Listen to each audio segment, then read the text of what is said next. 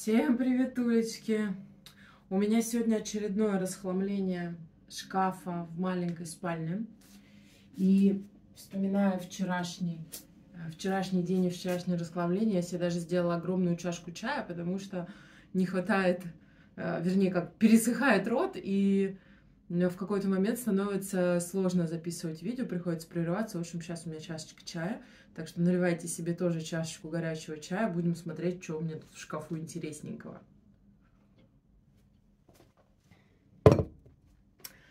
Сегодня, если вчера, помните, мы разбирали шкаф с э, одеждой, которая висит на плечиках, сейчас у нас э, будет часть вот эта вот с полками.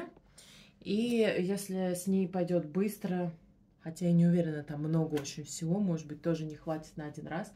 И еще сверху вот то, что вот этот хлам лежит, кроме утюга и детских вот здесь вот пазлов. Их я уже смотрела, детские пазлы, они целенькие, все хватает. Хватает количество деталек, все нормально. Утюг работает, я им даже пользуюсь.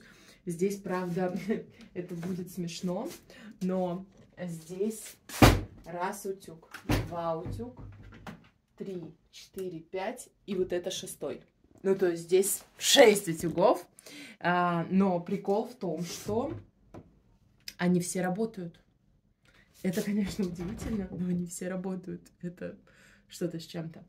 Вот. Ну что, а я буду... Кстати, нет, я не буду разбирать вот эти полки еще. Я лучше разберу здесь в платяном шкафу. Здесь два мешка. Потому что в таком случае я закончу вот эту часть и смогу уже туда повесить наши вещи. Вот. А так я не уверена, что я с этими полками закончу за раз.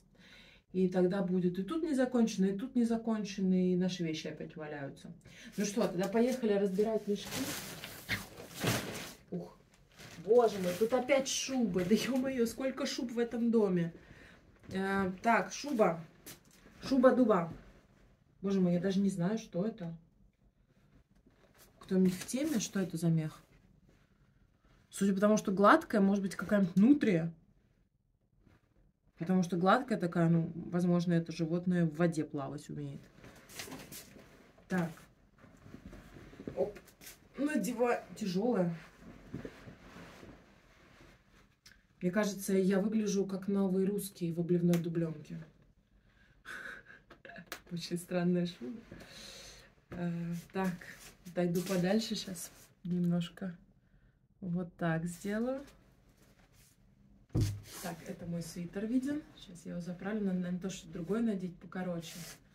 Да, выглядит это, конечно, прям, прям не очень. Правда, обливная дубленка? Боржаться можно. Так, ну, видимо, я это повешу туда же, где и остальные шубы. Пелсбауэр. Какая-то немецкая надпись. Да, ну а так она в нормальном состоянии. Она, поскольку лежала в мешке, я не знаю, почему здесь все шубы хранятся в мешке, она помялась. Но мне кажется, если повесить ее на вешалку, она, в принципе, может отвисеться. Ну, посмотрим. У меня еще не дошли руки выложить на СС те шубы, которые я разбирала в шкафу в прихожей. Но я думаю, э, это будет последний шкаф, в котором есть шубы. Ну, просто потому что ну, больше, больше негде. В другой спальне я разбирала шкаф, там шуб не обнаружилось. Там была только искусственная дубленка, но она тоже ушла в туман, потому что она прям сильно не очень. Так, боже мой, тут еще какие-то. Боже мой. Блядь. Знаете что? Господи. Это шкурки. Я не знаю шкурки кого. Скажите мне. Чьи это шкурки? О, боже мой. А что с ними? Они сшиты вместе. Раз, два, три, четыре. Здесь еще пришита какая-то пластиковая типа цепочка. Причем шкурки выпотрошенные и сшитые как бы вот на пузике заново. Только с задними лапами без... Нет, ну это по-любому идет в мусорку, потому что это жесть.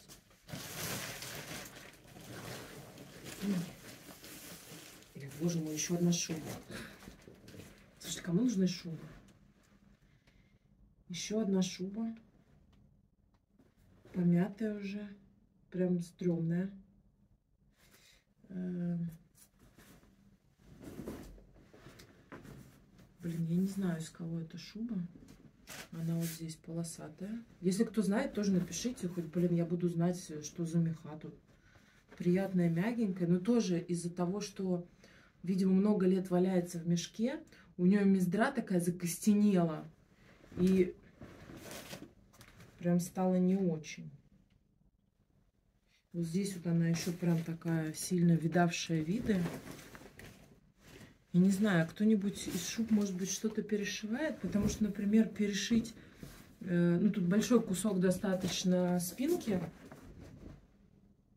вот, и он в хорошем состоянии, то есть у нее, в принципе, в плохом состоянии только ворот. Ну, как бы это логично. И даже более-менее в нормальном состоянии вон рукава, потому что, видимо, ее не носили.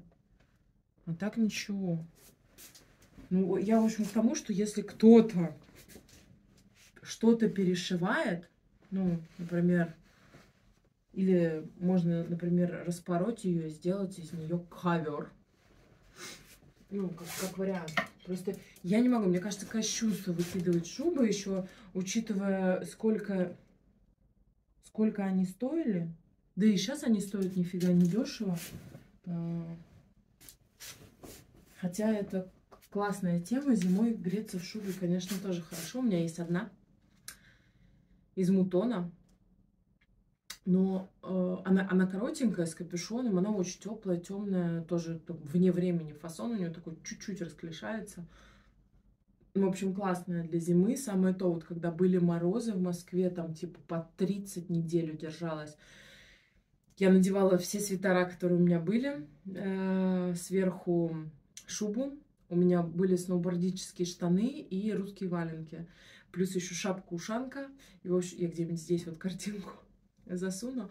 Вот, и, в общем, в таком виде я ходила на работу. Ну, сначала ты одеваешься вот так вот, кучу всего на себя надеваешь. Потом ты на работе, ну, естественно, потому что на работе в офисе тепло. Я снимала с себя валенки, снимала эти сноубордические штаны, снимала свитер. И оставалась в нормальной рабочей, э, как бы так, одежде.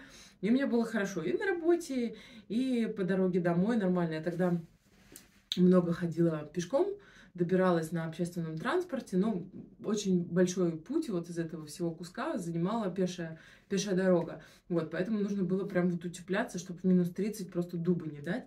Вот, так я себя очень чувствовала хорошо. Так, один мешок мы с вами разобрали.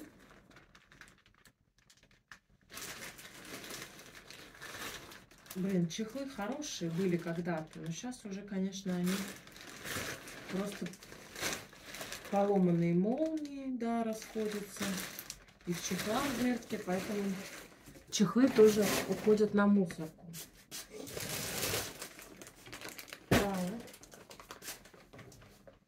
Достала еще один мешок, а тут еще где-то в закромах валялась... Э, господи, детская, детская, как она называется, байковая одеялка. Ну, тут одеялок детских до хера. Поэтому такое не пригодится. Не нужно. Так, и вот у меня еще один мешок, который мы сейчас с вами будем разбирать. Он очень шуршащий, поэтому я его разобрала и буду сейчас показывать, что в нем. Так, как это носить? Так, что-то невероятно сексуальное. На, на кого это? Это на какую-то просто огромную женщину. И я вот иногда думаю, э, вот это перед, передом к вам развернула. Я иногда думаю, вот э, производители, которые шьют вот такую одежду на больших женщин. На больших женщин из такого материала, вот вы посмотрите, он же просто прозрачный. Соответственно, он тонкий. И вот такого фасона кофта, то есть она вот здесь на плечах, э, ну, часто бывает вот здесь вот красиво, да, у корпулентных женщин. Но, простите, она идет по грудью, грудью предполагается, что тоже большая. И у больших женщин еще и живот тоже большой. И получается вот это вот, сейчас покажу, вот эта вот резинка, она прям на большом животе. То есть представляете себе вот эту картину? Вот так вот это натягивается. Вот здесь вот еще эти ужасные рюшечки. Вот этот, тут еще смотрите, как ужасно сделано. Защипы для объема. У больших женщин и так объем. Куда им еще объема? То есть, ну вот эта кофта, она подчеркнет мало того, что женщина большая, она подчеркнет все ее недостатки и выпятит их просто вот, вот так вот. Поэтому, блин, вот красиво можно, можно одеть красиво большую женщину. Ну, та же самая Адель, та же самая Эшли Грэм. Они круто одеваются, они в своем большом размере, они выглядят классно, потому что одевают красивую одежду, которая подчеркивает их аппетитные формы и скрывает вот эти вот жирочки и неровности. А вот это, э, ну, я считаю, что таких производителей нужно сажать в тюрьму просто за то, что они, делая такую одежду, издеваются над крупными женщинами. А крупные женщины иногда, ну, им тоже хочется одеть вот такое что-то в рюшечку. Но поскольку попадается вот это вот, они это покупают и выглядит ужасно. А найти хорошую одежду для крупных женщин, это вот целый, целая эпопея, потому что э, я как-то была сама плюс сайз, я была 52-54, у меня был максимальный размер. Вот, и э, когда я тоже только начала там пр практиковать стилистику, только закончила академию свою, э, я одевала, работала с крупными женщинами. Это очень сложный сегмент, потому что они хотят из своего большого размера превратиться в 46-й с помощью одежды, а это, ну, это просто невозможно. И вот ты работаешь психологом и пытаешься ее научить, как красиво, правильно одеваться при ее формах, плюс при этом современно, потому что большинство стилистов говорят, нет, если у вас что-то больше 46-48 размера, ну, как бы это просто одеваться только чтобы не быть голой. Я так не считаю, я э, и сама мне было интересно одеть из себя в 52-54 размере, и девчонок, с которыми я работала, было интересно вот одеть, показать, как это может выглядеть круто. Вот, поэтому я считаю, что можно найти, одеть и производителям сделать красивую одежду, которая подчеркнет. Но это сложно. Вот. А вот таких производителей, правда, ну вот сажать в тюрьму за преступление против женщин. Так, ладно, хватит. Э, поехали дальше. Так, тут какой-то э, халат. А, помните, я когда разгребала в спальне шкаф, там был тоже такого а китайского вида халат, но он был длинный, черный. Этот короткий. Ну, этот уже, конечно, не выглядит шикарным настолько, насколько тот. Вот, этот такой простенький. Вот.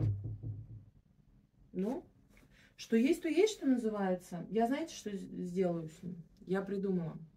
Поскольку жизни ему нет здесь, вот, э, он уже никуда не годится, и я до сих пор, вот сколько я разбираю вещей, я до сих пор не смогла найти э, ни одного фартука. Поэтому я оставила свою старую э, толстовку, в которых я делала первое расхламление здесь потому что у нее пузо вот так вот уже просто э, в пятнах, потому что я в ней готовлю, мою посуду, убираюсь и расхламляюсь, в общем, все. Вот, но она как бы только я ее надеваю вот так вот сверху, либо если холодно, я снимаю этот свитер и надеваю толстовку. Но она реально уже ужасная. Вот, а этот халат можно накинуть вот так вот раз как раз на свитер, завязать, помыть посуду и нормально. И мне кажется, это будет поудобнее. Вот. И не спрашивайте меня, почему я просто не куплю фартук. Потому что здесь столько брахла, что можно этим не заниматься, и все это все равно наше пребывание здесь временное. Мы тут до декабря, а потом перебазируемся. Так что оставлю фартук в качестве... Ой, фартук. оставлю халат в качестве фартука, потому что он все равно из полиэстера сделан. А толстовку, мою толстовку, как раз вот она. А ее, значит, выкинем. Потому что сейчас еще раз покажу, в чем проблема. Пятна на пузе, и они уже не отстирываются. То есть я их пыталась там отстирать и вот этим несчастным фрошем, в котором я пыталась отбелить э, ворот рубашки. Но это не работает. Этот фрош, он не работает вообще ни на что. То есть это пятна от готовки либо от помывки посуды, а, какие-то темные, вот, а, не отмываются. Я пыталась еще отстирать этим фрошем. Э, Ник ходил в своих белых джинсах, и поскольку был дождь, ну, что-то забрызгал себе сзади икры. Я пыталась отстирать фрошем. Во фроше у меня, ну, не знаю, несколько часов лежали замоченные, ну, как бы затертые этим жидким фрошем джинсы. Нифига. Вот не помогло. Вот, поэтому фрош не работает. Толстовка тоже приказала долго жить, но я рассказывала про нее. Про нее. А, да, и не говорите мне, спари карман, будет нормально. Я не хочу, потому что у этих толстовок останется здесь вот такие дыр, дырочки от строчки, это будет ужасно.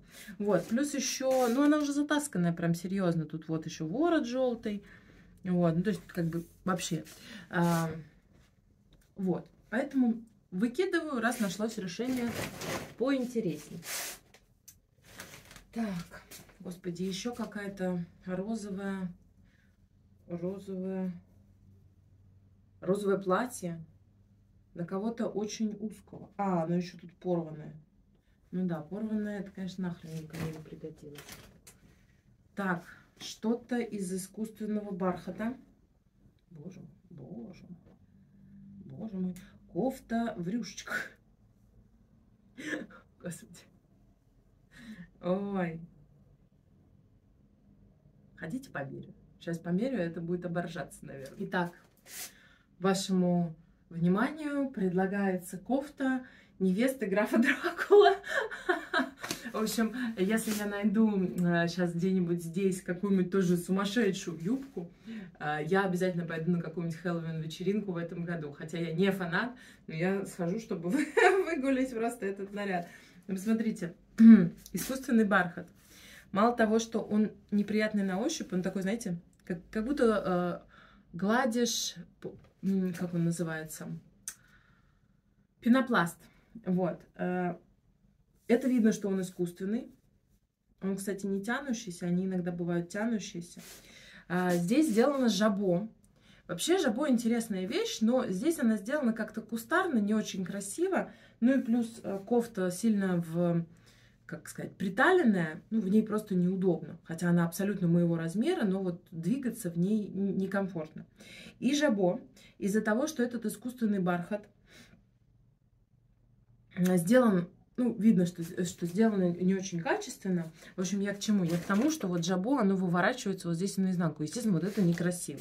Ну, и вот я пытаюсь его как-то расправить, но тоже не работает.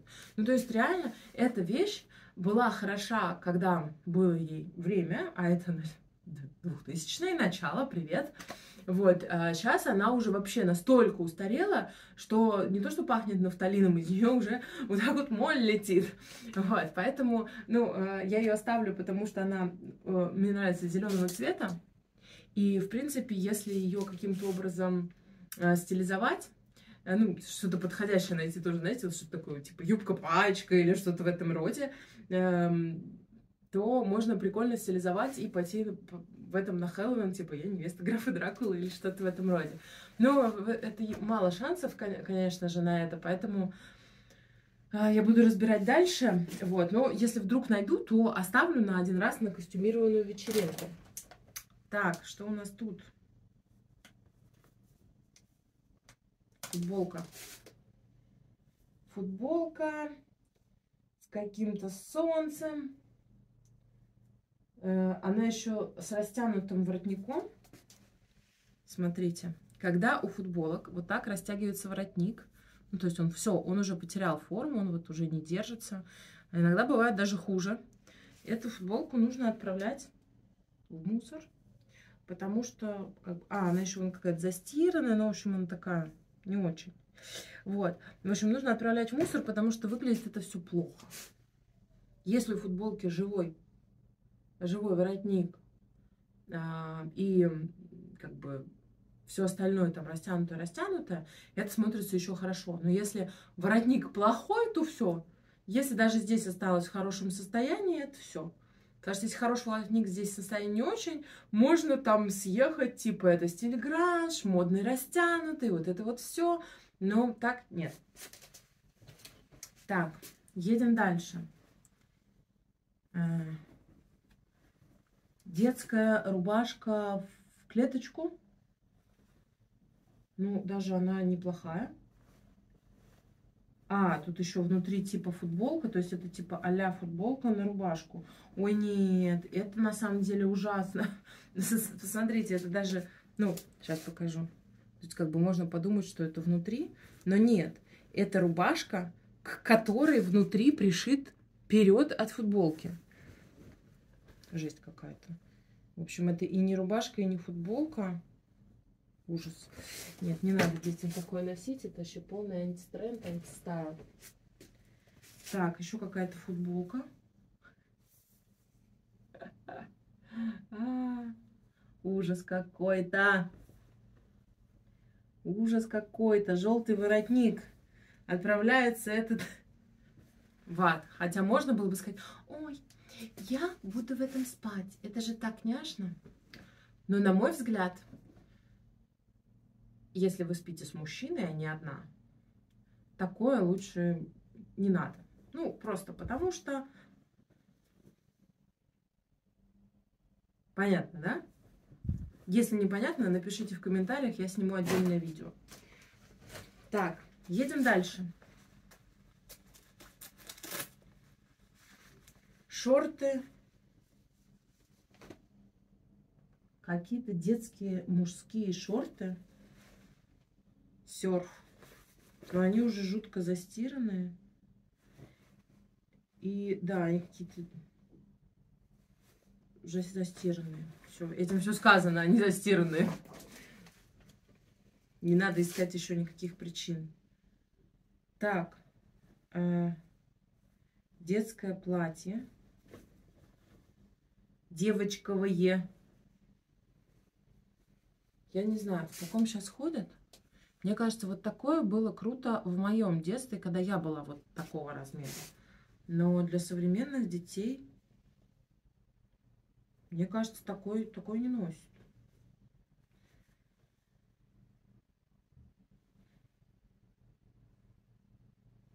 Нет, я думаю, что нет. Так. Платье, комбинация. Кост какой-то десятый размер. Ну, комбинацию можно оставить, потому что эта вещь полезная, не так часто нужна. Вот, правда, она, это конкретно, она не тянется, материал не тянется. Мне больше нравится, вот у меня дома они тоже из синтетики. Кстати, это из синтетики или из какой-то крепдышин. Сейчас посмотрим лучше даже. Take care.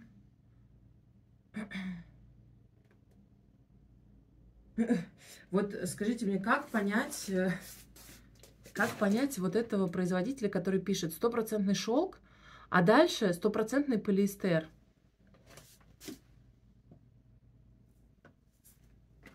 Или шелк это вот это вот э, ярлычок, а все остальное полиэстер. Ну, на, на ощущение это полиэстер. Я не знаю, где здесь может быть шелк. В каком, в каком вообще месте. Ну, видимо, где-то шильдик пришит. Вот, я больше люблю э, комбинации, хотя у меня их только две, черная и бежевая. Вот, я люблю комбинации, которые тянутся, потому что в них просто ну, удобнее. Хотя э, по назначению они ничем не хуже, чем вот такие. Так, едем дальше. Так, что еще один костюм на Хэллоуин? А, я не могу. Смешно. Э, так, э, какое-то у нас тут платье. Платье тоже какое-то теткинское. Давайте тоже попробую надеть. Так, узковато мне немножко платье. Размер меньше, чем у меня. Так, сейчас я еще опущу.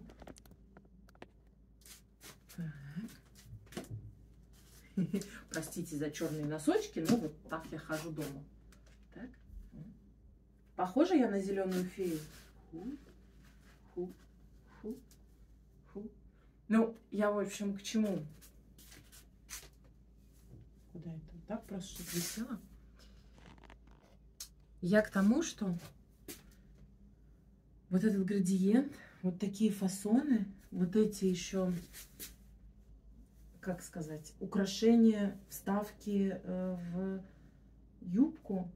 В общем, это настолько уже э, тоже пахнет нафталином, что ходить в этом нельзя. Плюс ко всему, ну, мне, конечно, маловато, будем признаваться честно. Вот, но вот здесь вот вырез очень некрасиво, из него вываливается вот здесь складка. Вот. Поэтому либо вырез надо делать больше, чтобы ее открыть нормально, она вот так сиськой не торчала. Либо делать вырез меньше, вот так, чтобы она закрывала. И был красивый, а, красивая линия плеча. Поэтому, ну, тут еще давайте делать скидку. Может быть, она мне, не может быть, а точно оно мне мало. Вон я его не смогла застегнуть. Блин. Вот, но тем не менее, в любом случае, это платье сильно устарел. Я пытаюсь хоть как-то найти ему хоть какое-то применение, хоть, хоть как-то придумать, как его можно носить. Но нет, у меня нет ни одной фантазии, куда в обычной жизни его можно было бы носить. Может быть, на какую-нибудь карнавальную вечеринку, что там. А я зеленая фея, ля-ля-ля-ля-ля-ля. Но нет.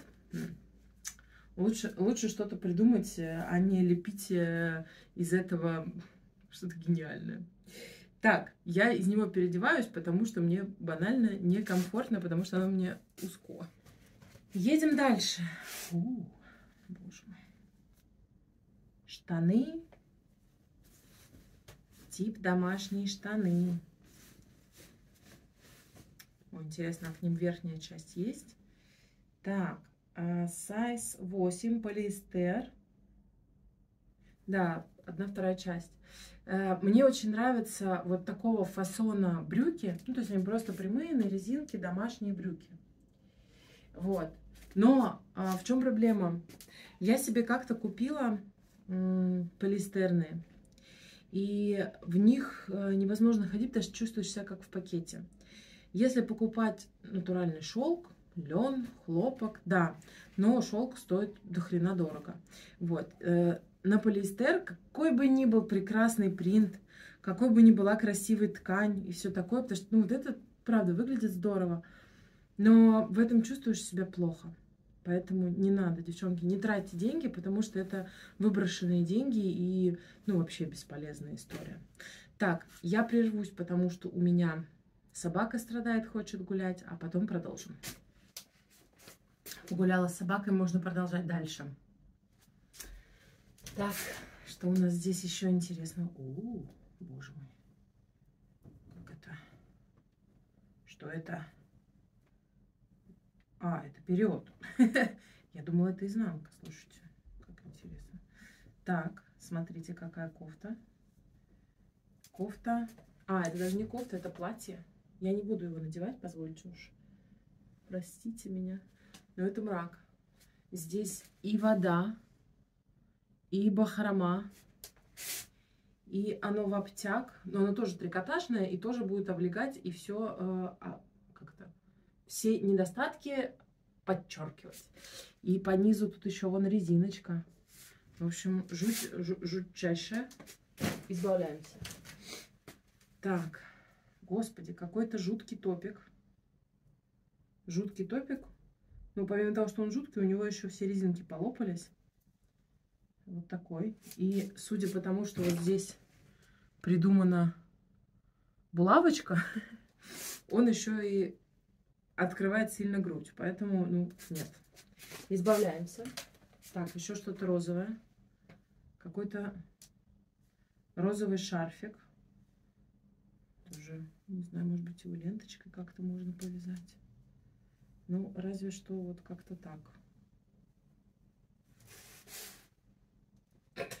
Не, можно подлиннее сделать. Не, ну это, конечно, мрак. Избавляемся. Боже, еще один халат. Еще один халат. Какой оставим для, э, для вместо фартука? Этот или синий? Слушайте, я не знаю, э, ну как бы такой халат, он э, призывает, наверное, быть невероятно сексуальным и все такое прочее. Но этот, этот поуже, поэтому на одежду его неудобно надевать, поэтому оставлю тот. Вот, он, наверное, призывает быть сексуальным, но сексуальности в этом мало. Мне напоминает это историю про анекдотическую э, тещу, либо еврейскую маму, что-то в этом роде, которая вот ходит, варит пирожки, все время ходит в этом халате. Э, в таком халате он еще короткий, он выше колена, вот, то есть, ну, как бы предполагается, что его либо на такие же брюки нужно надевать, чтобы это было как кимоно. Ну, правда, пояс тут надо завязать, потому что пояс здесь куцый. Либо на брюки такие же нужно надевать, и внутрь еще что-то. Либо непонятно вообще для чего он, потому что, ну, как э, после душа его, чтобы надеть, и чтобы было уютненько, он не подходит. Качестве какой-то сексуальной домашней одежды тоже не подходит. Поэтому непонятно вообще, зачем он. А, тут, кстати, есть брюки для него. А, даже не брюки. Да, под него придумана типа спать комбинация. Ну, тоже. Здесь проблема со стыковкой рисунка. Первое. Ну, ладно, это можно еще пережить, а, потому что это сзади. Ой, боже мой, боже мой. Черти что, и сбоку бантик. Вот зачем здесь еще вот этот бантик пришит, который здесь вообще ни по цвету, ни почему не подходит. Нет. Не дай бог кому-то такое э, купить, девочки, пожалуйста, не покупайте. Это выглядит странно. Э, своих мужчин вы этим не соблазните. Если вы живете одна, это тоже неудобно.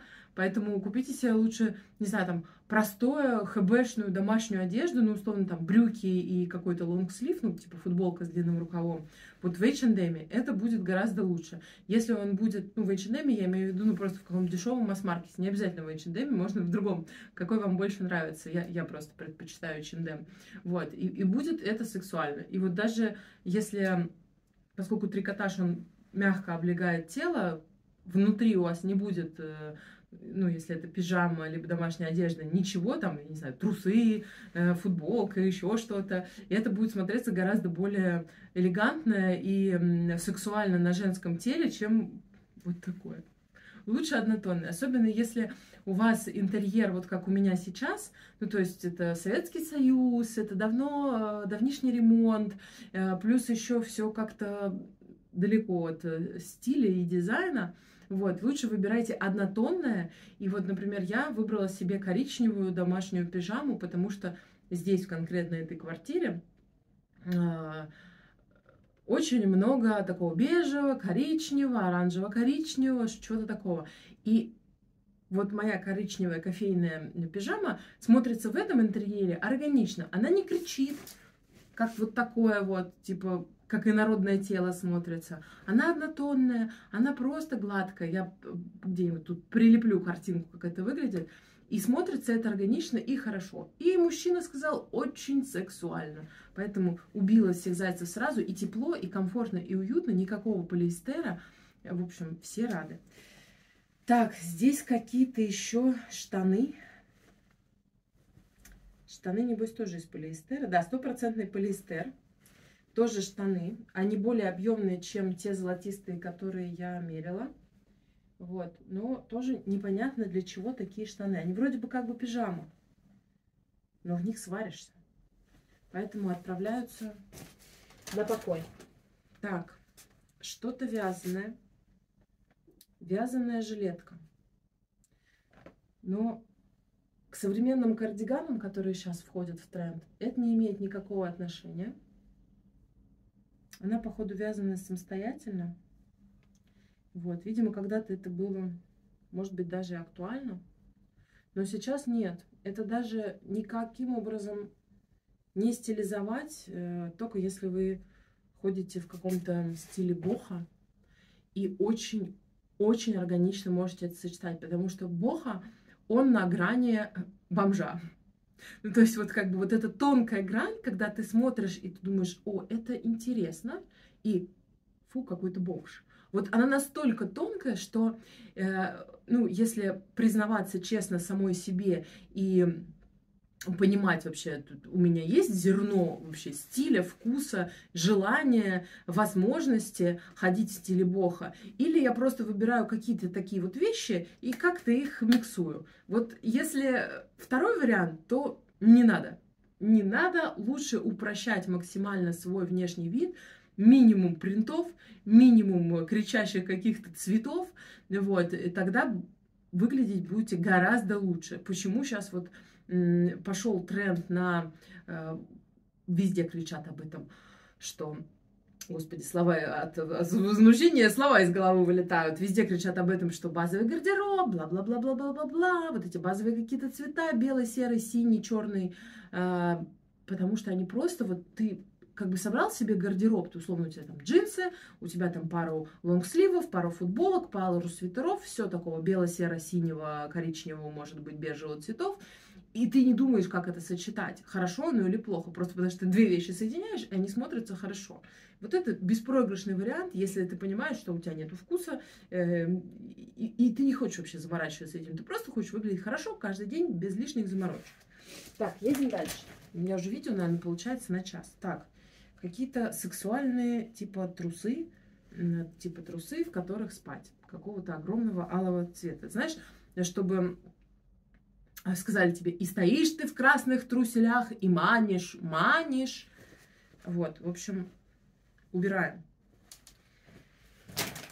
Так, пижама детская. Ой, э, тут даже нету разговора, потому что, послушайте, резинка умерла. Так, какая-то Детская, что ли? Майка типа водолазка. Ну, э, по стилю сейчас такого плана майки входят даже в тренд, возвращаются. Но здесь в чем проблема? Здесь зацепки есть. Она желтая, и материал, вот даже материал, он не современный. То есть сейчас должен быть современный трикотаж, просто гладкий, просто э, ну, такой нейтральный, тех же самых базовых цветов. Вот. А здесь все, здесь и водолазка модная, и безрукавка, и принт, и полиэстер. Вот, поэтому это анти- style, без относительно того, что она уже в плохом состоянии. Так, так что-то у нас тут тоже какой-то халат. Халат. Вот, вот халат, который имеет место быть. Э, из чего он сделан? Наверняка тоже из какого-то полиэстера. Но он неплох. Сейчас я надену футболку и покажу вам. Так, вот этот халат. Но, знаете, я его, честно, тоже отправлю на покой, потому что он э, плохого качества. У него нитки торчат. Э, так. Я просто так не могу понять, из чего он сделан. Вот, э, что с этим халатом? Если хотите такой типа шелковый халат, лучше, конечно, шелковый, но шелк стоит дорого, поэтому приходится порой выбирать. Во-первых, э, когда смотрите на пояс, он не должен быть вот такой вот тряпочкой. Это ленточка, которую детям волосы завязывают. У э, пояса должна быть форма, он должен держать, потому что вот я его завязываю, э, он получается какой-то веревкой. Это смотрится тоже куца, дешево и все такое. Вот. Что хорошо с этим халатом? Он просто ровного белого цвета. То есть он как бы не будет нигде выбиваться, нигде кричать, ничего. Плюс он длинный. Вот, видите, он доходит мне ниже колена, причем там даже больше, чем ладонь. Вот, и все это вместе, я сейчас попробую влезть полностью в кадр. Да, и все это вместе смотрится, в принципе, неплохо. То есть под него можно надеть там любую домашнюю одежду, сверху накинуть халат. Если летом жарко, можно, в принципе, просто в нем ходить. Но что еще не очень хорошо у этого халата? Почему он в итоге, несмотря на то, что он однотонный, белый, э, не кричащий, все такое, что в нем плохо? Он очень тонкий. То есть вот этот полиэстер, он не плотный. Он, во-первых, просвечивается, пролегает, и, ну, мне кажется, у меня неплохая все-таки фигура, но я в нем выгляжу плохо. Вот. Даже если его погладить. Сейчас он, ясное дело, мятый, это вообще еще убивает. Вот. И все эти нюансы, конечно, играют ему не самую лучшую роль. Ну и плюс у него, конечно, качество отделки, учитывая, что он без подклада, просто ужасное. Здесь должен быть вообще по-хорошему кантик, если это хорошая качественная вещь. Здесь, здесь должен быть кантик. Как помните, я вчера, когда пиджак черный, какой-то маленький черный пиджак показывала, у него кантинг, чтобы не тянулось. У него вот здесь хорошо обработанные были швы. Здесь просто это как будто, ну, я не знаю, в шестом классе, в пятом классе девочки на уроке труда шили. Вот. Плюс он еще весь он в катушках, в закатушках. Вот. Ну и все это, конечно, отправляет его на покой. Вот, к сожалению. Хотя вроде бы белый, вроде бы длинный, вроде бы универсальный, но нет. То есть вот когда ты выбираешь себе вещи, нужно подходить очень пристально. И это происходит не за один день. Во-первых, нужна насмотренность, и нужно еще погоняться за этими вещами, потому что нет какого-то идеального магазина, в который ты приходишь, и там, о, базовый гардероб, о, идеальный халат, о, классные тапки. Не, нифига. Это, блин, такая большая работа, что я...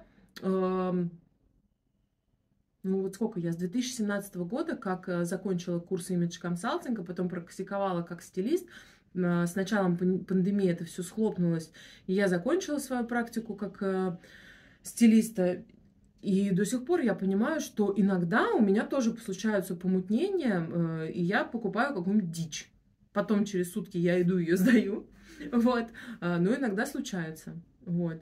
А какие-то старые вещи, от которых, ну, я не могу избавиться, они там дорогие, они в хорошем состоянии, они там, в общем-то, классного кроя, классного материала, классного, классного качества исполнения. Я не могу от них избавиться, но я понимаю, что они, ну вот, ну никак вообще, блин, современный нормальный стильный гардероб не вписываются. Я просто это продаю.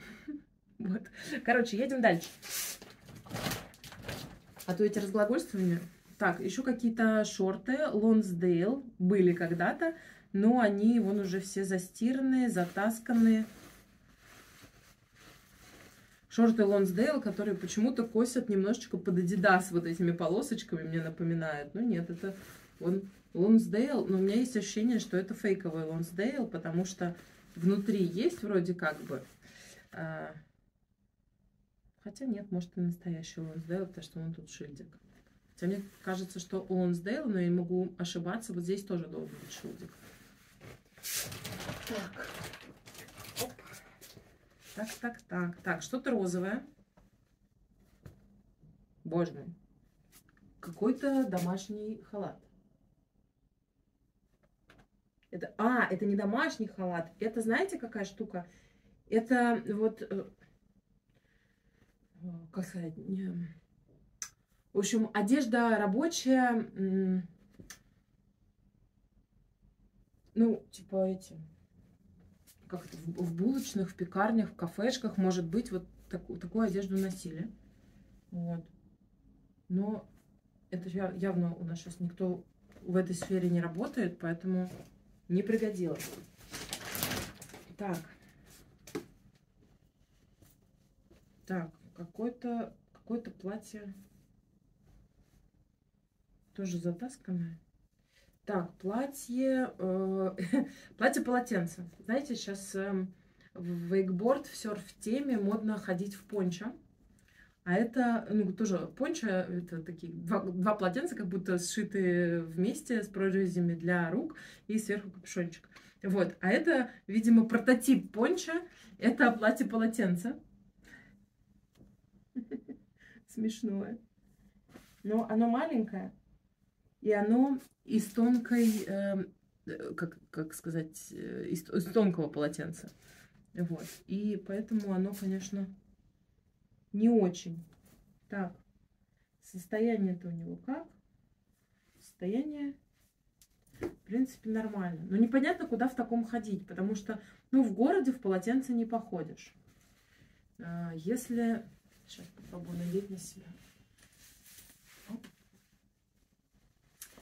На... В отпуск как-то тоже странно. Я прям на джинсы надеваю, потому что не хочу раздеваться. Вот. Это такое платье.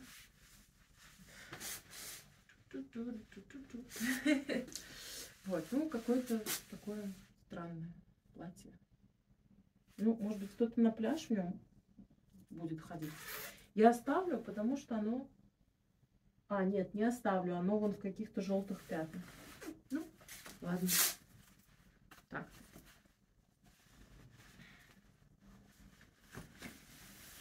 Оп. Так, едем дальше. О, от того э, халата еще штаны.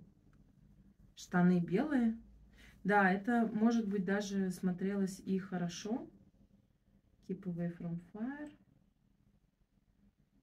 Э, полиэстер стопроцентный, да.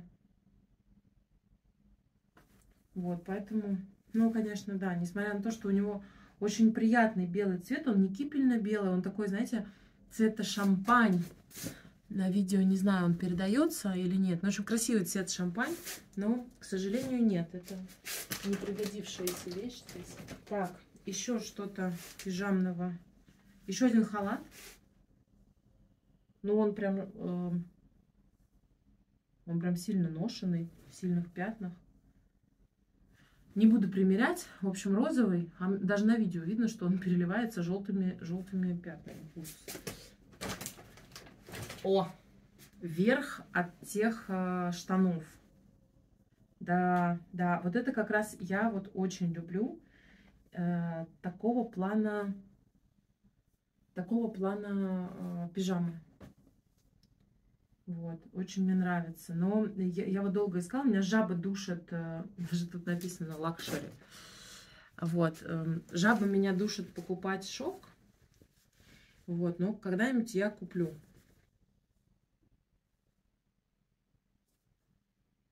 Да, стопроцентный полиэстер, вторая часть из двух. Вот. В полиэстере, вот я говорю, я как-то себе купила такую пижаму, мне она очень нравилась. Но я прям в ней потеешь ночью. Ты, должен, ты должна отдыхать, а ты просыпаешься от того, что ты потная, это как в пакете спишь. Вот, э, в общем, это неудобно. А так, вот такая форма пижамы, она смотрится очень элегантно. Я как-то нашла себе пижаму из э, вискозы, вот такого же кроя, то есть брючки и э, ну, такая вот домашняя рубашка. Вот, смотрится это очень круто. Единственное, что это было не в разделе пижамы, это было в разделе костюма. То есть, ну, был когда-то пижамный стиль пару лет назад э, в тренде, и вот бренды до сих пор отголоски этому есть. В общем, в разделе костюмы я себе купила черную, вискозную, с таким вот, ну, с похожим рисунком, там какие-то цветы были вытканы, жаккард, ну, типа а жаккарда. Вот, это было, конечно, круто. Но как бы не было мне жалко, а, надо заботиться о своих близких, поэтому избавляемся.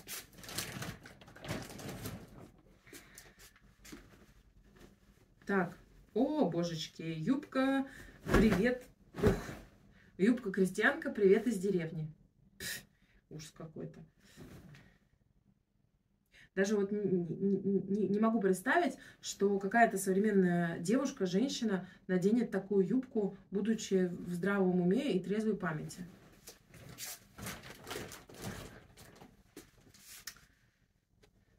Свитер. вернее, не свитер, а, а жилетка. Хотела сказать, что она в пятнах, но нет, это просто такой желтовато-серый цвет. Химическая чистка. Сриянж, натуральная шерсть. 46 размер. Ну, прикольно. Сейчас померяю, покажу, как это выглядит. Ух. Ну, да, вполне себе современная вещь. Можно носить таком casual формате. Под него можно и рубашку надеть, и какую-то кофту с длинным а, рукавом. И будет нормально с джинсиками. Вон даже. В принципе, и в таком виде смотрится хорошо. О, нет, не будем носить. Тут дыра. Блин, как жалко-то.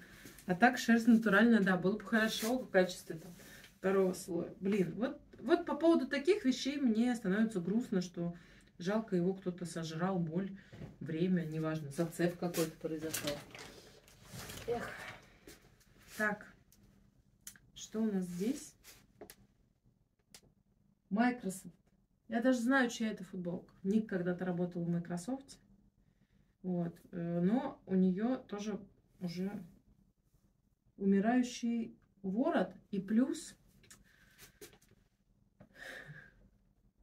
И плюс, э, ну, носить мерч прикольно, на мой взгляд, и стильно, и для города, если вы работаете в компании Microsoft, либо они платят вам за это деньги, либо на каком-то мероприятии. В обычной жизни, ну как бы, зачем ты носишь футболку Microsoft?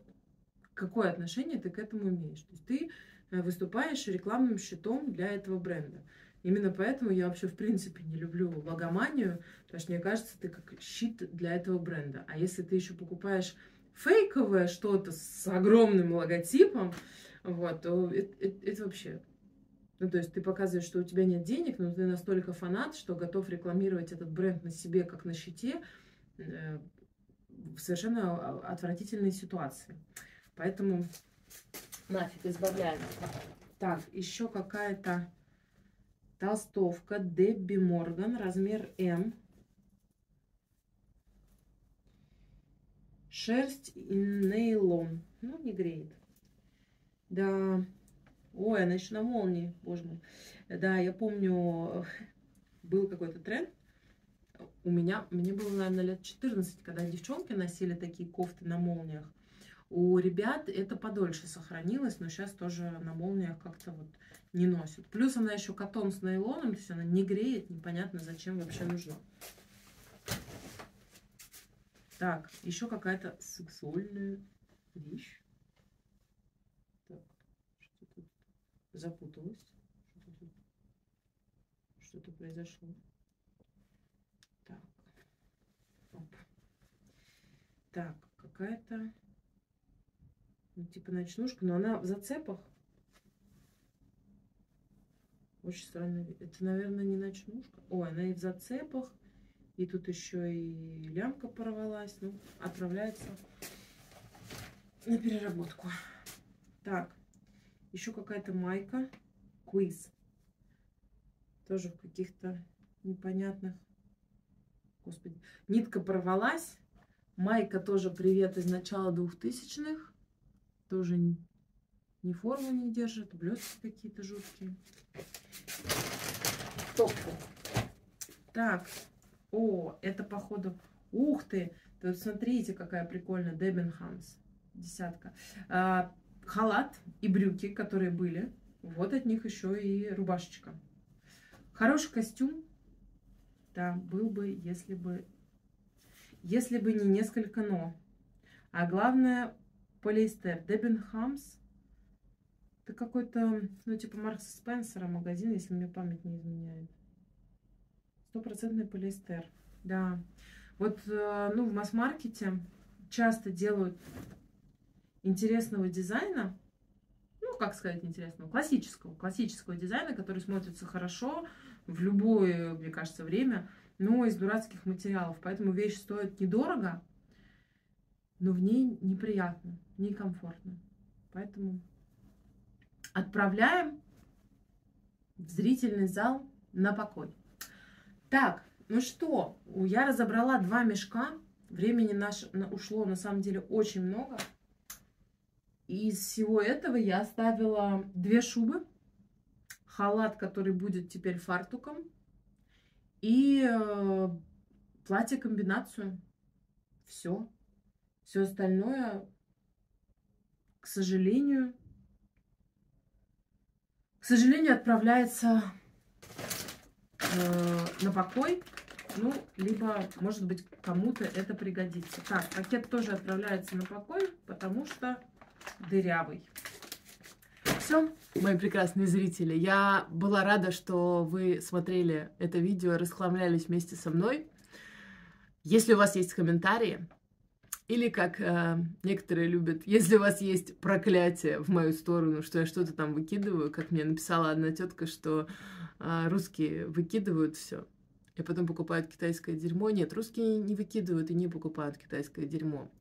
Э, потому что это бессмысленно. Любой человек в здравом уме, русский, не русский, не суть важно, э, расхламляется с умом, чтобы потом купить качественные вещи.